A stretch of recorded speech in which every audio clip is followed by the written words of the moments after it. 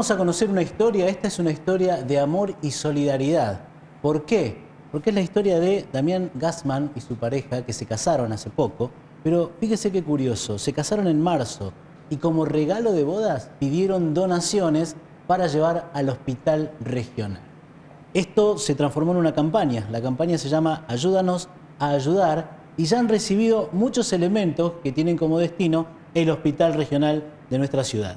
Esta es la historia de Damián Gassman, nos van a contar en qué consiste esta idea, cómo surgió y bueno, la posibilidad también de seguir sumando colaboraciones.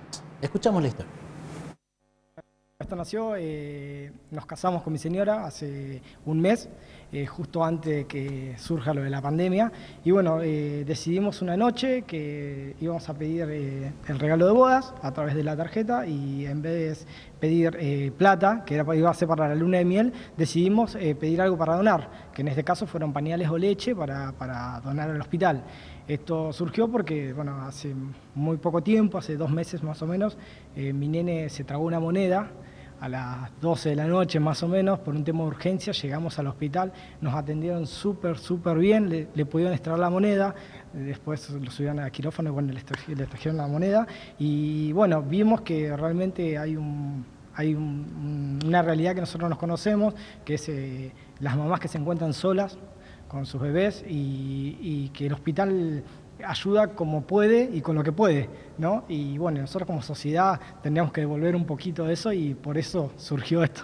Bueno, juntaron un montón de cosas en el casamiento, después también, y pudieron entregarlas. Correcto, correcto. Esa parte, una parte entregamos el sábado, otra parte las tenemos ahora, y bueno, ahora eh, muy próximamente vamos a, entregar la otra parte y bueno, estamos esperando donaciones también de, que hacemos, que intercambiamos eh, servicios por eh, pañales o leche para, ampliar esto y poder llevar todo junto vos tenés un taller y lo que nos contaste es que eh, están no cobrando la mano de obra, sino pidiendo a cambio materiales y cosas para donar. Correcto, correcto. Eh, en, lo que son empresas, obvio que nosotros tenemos que cobrar una parte por, el gasto que se genera en la empresa, pero eh, hay servicios como que a la policía, que se lo hacemos, que se lo hacemos como forma gratuita en algunos tipos de servicios de mecánica y después decidimos, gracias a la cooperadora de la policía, aprovecho a, a recalcar que ellos hacen un trabajo genial, cambiarle manos de obra eh, por pañales y leche para ampliar justamente este bulto y poder llevarlo. Así que en realidad es un, es un beneficio mutuo que hacemos. Mi número es 154-614-384.